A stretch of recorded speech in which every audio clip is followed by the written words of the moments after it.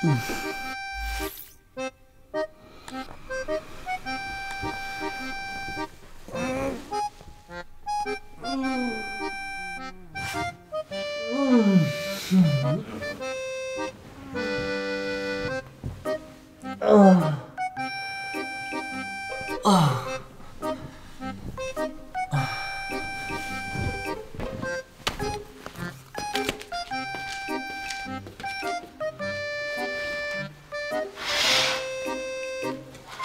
Yeah.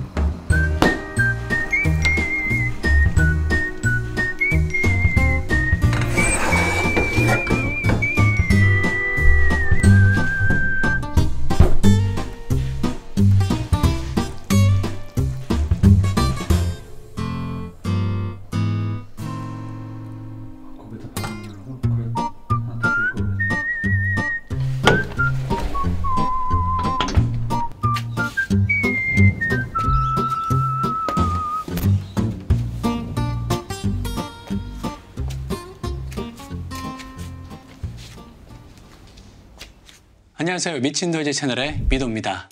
저희가 시드니로 온 지 벌써 100여일이 되었네요. 그동안 아내도 싱가포르로 돌아가고 아이와 저만 이곳에서 생활하고 있습니다. 오늘은 이곳 시드니에서 사는 집을 소개해 드리려고 합니다. 끝까지 시청 부탁드립니다. 현재 호주는 인력 부족을 해결하기 위해 다른 나라에서 입국을 장려하고 있는 상황입니다. 제가 있는 시드니도 마찬가지죠. 그러다 보니 당연하게 공급 대비 수요가 많게 되어 집을 구하기 어려운 상황으로 알고 있습니다. 집이 나오면 바로 나가는 것 같더군요. 인스펙션하고 마음에 들면 바로 계약해야 마음에 드는 집을 놓치지 않을 것 같습니다. 저희 시드니에 도착하기 전에 집을 구하는 것이 목표였습니다. 이런 생각이 가능했던 것은 시드니에 친한 친구가 있었고 다행히 대신 인스펙션 해줄 수 있어서입니다. 그래서 인터넷으로 나온 집들을 살펴보고 이게 마음에 드는 몇 곳을 친구에게 알려주었습니다. 물론 이렇게 해도 마음에 드는 곳을 못 찾을 수 있기에 시드니에 입국해서 찾을 것도 염두에 두었죠. 많은 곳을 다니긴 일정이 촉박했기에 네 곳에서 다섯 곳 정도를 선택해 인스펙션 했고 친구가 영상과 사진으로 보내주어 집 상태를 볼 수 있었습니다. 물론 구글 지도로 집 주변과 역과의 거리도 잘 살펴봤습니다. 그렇게 해서 선택한 것이 지금 사는 집입니다. 먼저 집부터 볼까요? 저희 집은 원룸 형태의 구조입니다. 문을 열고 들어오면 먼저 주방이 보이죠. 둘이 살기 적당한 크기의 주방입니다. 바로 옆엔 냉장고가 있습니다. 이건 조금 더 컸으면 하는 아쉬움이 있습니다. 위아래 수납장이 충분히 있고 가스레인지부터 모두 스테인리스로 처리되어 깔끔하게 관리가 가능합니다. 따로 신발을 둘 곳이 없어서 K마트에서 이렇게 신발을 정리할 수 있는 렉을 구매했습니다. 식탁을 두기엔 좁아서 캠핑용 식탁을 구매해 식탁 대용으로 사용하면서 잠자는 공간과 주방을 분리했습니다. 바로 옆엔 화장실이 있습니다. 샤워룸이 따로 되어 있고 변기와 세면대가 있으며 변기 바로 옆에 세탁기가 놓여 있습니다. 작은 복도와 같은 공간인데 이곳에서 주로 촬영합니다. 그리고 잠자는 공간이 나오죠. 사실 이곳은 가구가 포함된 곳이 아닌데 전에 살던 한국 분께서 두고 가셔서 저희가 사용하고 있습니다. 아이는 single bed 침대에서 생활하고 전 airbed를 구매해 바닥에서 생활하고 있습니다. 맞은편엔 책상이 있어 아이가 공부나 게임을 하고 바로 옆엔 TV를 놓을 수 있는 곳인데 저희는 그냥 작은 피아노를 두고 뒤엔 각종 제품들이 충전하고 있습니다. TV는 32인치 모니터 겸용으로 구매해 모니터로도 쓰고 TV로 볼 때는 뭐 여기저기 옮겨가며 사용 중입니다. 이 위쪽엔 히터가 있는데 에어컨 겸용이라고 합니다. 겨울에 몇 번 틀었는데 아 이거 하나로 집을 데우긴 힘들더군요. 아주 춥습니다. 그리고 마지막으로 베란다가 있는데 생각보다 넓어서 날이 좋으면 빨래를 말려두기 아주 좋습니다. 바람을 쐬기도 아주 좋네요. 이곳은 시드니 시내에서 멀지만 역과 거리가 가깝습니다. 하지만 마트가 멀리 있습니다. 여기 가까운 곳을 빼곤 아주 살기 불편한 곳입니다.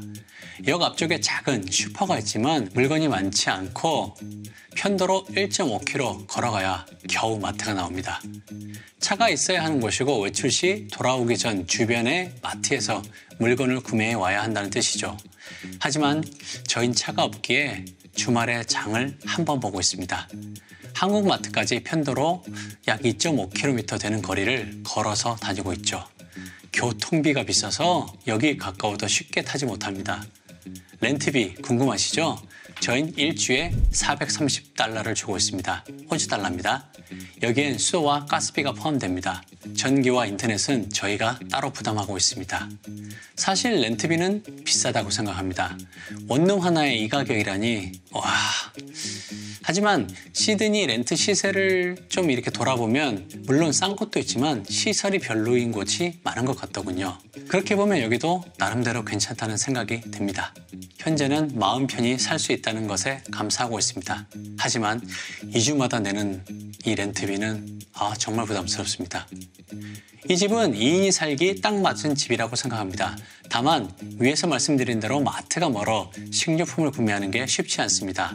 특히 쌀이나 김치를 구매하면 거의 15에서 20kg가 되는 짐을 들고 걸어야 하기에 아주 힘듭니다. 뒤늦게 행군하는 기분입니다. 또한 냉장이 필요한 식품을 구매할 땐 현재는 겨울이라 큰 문제가 없지만 여름엔 다 녹을 테니 반드시 보냉이 되는 가방이 필요하죠. 저희는 이케아에서 보냉백을 구매했고 이렇게 배달용 가방도 하나 있습니다.